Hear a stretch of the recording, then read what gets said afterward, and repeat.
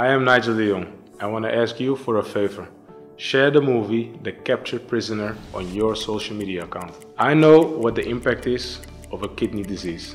My mother was dialyzed for years and it kept her imprisoned.